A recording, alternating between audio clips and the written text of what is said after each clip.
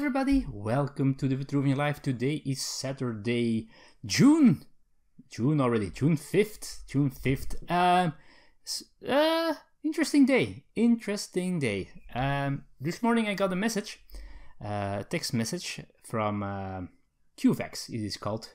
And this is a service that you can subscribe on uh, if you want to be on the reserve list for a vaccination here in Antwerp or in Belgium at least even. Uh, and uh, I got a message that there was a vaccine uh, waiting for me instead of having the official uh, invitation. I could already go, and I was so happy, folks. But I had only an hour to say that I was that I was willing to get that vaccine and that I would make it there because I had to be there in an hour. So uh, I said, okay, let's do this, and away I went. Oh boy, first vaccine is done. One more to go, July 8. Wow, great! This feels so good because now we fi- there's finally something real that's telling me things are going to get a little bit more to normal soon. so happy. Uh, in case you're wondering, I got myself a Pfizer vaccine.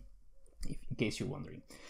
So very happy. Uh, it was arranged really well here in Antwerp. Um, so many people working there to help the people that were going. There was a lot of people going and coming and going and coming uh, there, but it was it went so smooth. Every corner you had to take or everything you had to do, someone was there just telling you, now you have to go here, and now you have to go there, and just sit here, and and now you wait there for 15 minutes, and you can go.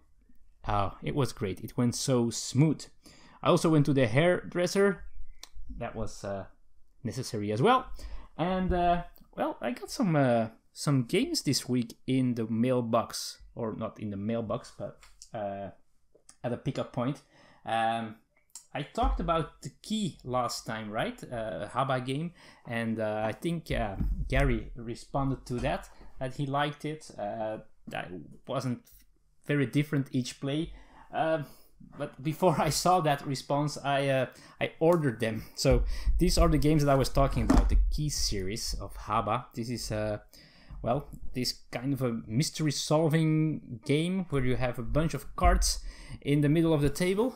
Uh, not sure if you can see it like this, and you well, you have to pick cards, and then it gives you a clue. You write your clue down. You keep the clue, so that's the that clue is your own, and depending on which uh, solution there is uh, it's it's depicted by a key in a color uh, so you have to take cards with that color and uh, depending on the color you get a you want to find a certain combination of three uh, three baddies and uh, other things uh, so you have to make a combination of th- for those three people what they did and when they did it or whatever and well, it's it's it's they're light games. They're Haba ages eight and up, they say.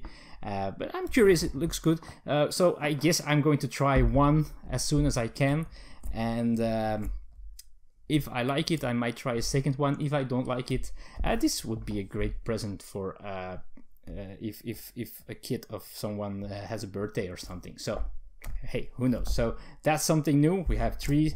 Uh, they're the Dutch versions. So this is Sabotage in Lucky Llama Land, Murder in the Oakdale Club, which is uh, the only one with the medium level difficulty. It's also a little bit more adult because it's about a murder. Uh, I think the other ones, well, the one here is uh, uh, sabotaging, uh, I guess, some rides in a amusement park, and this is the. I'm not sure how it's called in in English. This one. Um, but it's about people's uh, robbery in Cliffrock Villa or Cliffrock Mansion. I don't know what the English version uh, is called. Uh, so two starter levels and one medium level. Uh, I'm curious to find out how this really plays. Uh, all right, I didn't think this through of how to put this out of the camera a little bit. Right, the other thing, uh, other game I got. Um, the dates were a little bit mixed on websites and when they, it was going to be uh, available. Uh, I pre-ordered it a while ago. It was my number one most anticipated game of this year. If you didn't see that list that I made about my top 20 releases of this year that were known by that time, there are some new releases already announced that are pretty exciting, by the way. Uh, but this was my number one, and uh, I picked it up. The Initiative by uh, Corey Konieczka, uh, famous for his Fantasy Flight games, but he now has his own studio called um, Unexpected Games. This is a one to four cooperative game where in you're playing teenagers in 1994. They find a mysterious game called The Key, I think. Was it the key? It might be the key. Uh, which is funny because these, these are called the key. Um, and well, they play the game and they discover it is strangely connected to their lives. So, what are the secrets of the initiative? Question mark, question mark. Uh, this looks pretty cool. I've heard it's not too heavy either, uh, but that's the way I am playing now. Uh, family style games uh, are my jazz at this moment. Although we've played Terraforming Mars yesterday, uh, and we played a com- complete game of it with me and Elisa. That doesn't happen too much. Uh, we had to finish. Uh, we had to stop another game. I think Thursday or Wednesday because Inara uh, asked for our attention. She she had a rough evening that day, I guess. Uh, I'm very excited for this one. Now, this is an English version, and it is kind of language dependent because you're trying to, to solve uh, some riddles and you are looking for words, for example, uh, but they're in English. So I'm not sure um, who I'm going to play this with. I have some people in mind, but I guess I oh I'm so excited to play this, but I might have to hold on until uh, all those people are vaccinated as well, so we can play this in a normal way with the attention that this game deserves. Although I want to talk, uh, play this and talk about it sooner, but we'll see. We'll see what what we'll do. The last thing that I have is not a game. Um, I bought a used, well used. I, am not sure if it's really used. It is put together, and it has been shown on the YouTube channel.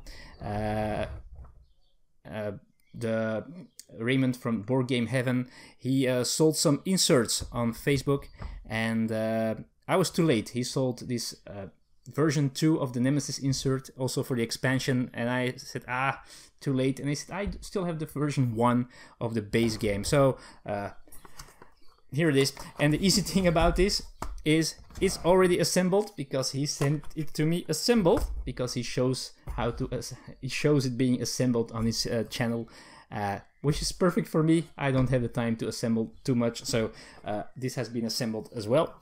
Uh, also, this week I got the insert for the uh, Red Skull box for Marvel Champions, which I the folded insert, which I put together uh, this week as well. But that's somewhere. That's I think it's downstairs somewhere. And that's about it. That's uh, what happened in that in this week. Um, yeah, yeah. I, I it feels like I'm starting to get a little bit back into normalish life with the time and stuff like that. Not completely, not completely at all, but still there is some improvement, and uh, that's awesome. Uh, tonight is my uh, mother-in-law's birthday, so we're going to have a nice dinner uh, at my uh, in-laws' place. Going to eat Thai food. Great stuff.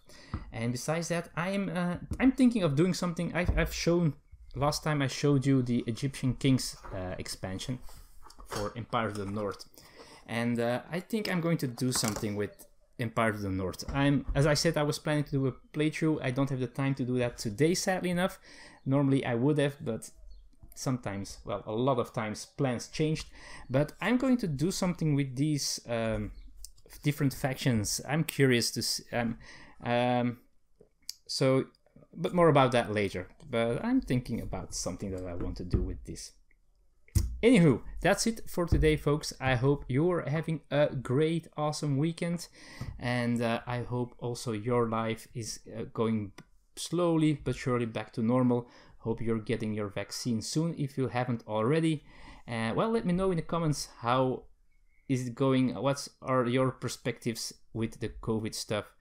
Uh, next week in Belgium, the 9th, there will be uh, way less things that we have cannot do in Belgium, but I'm a little bit afraid that that might make the numbers go up again. We'll see about that, but uh, let's hope for the best.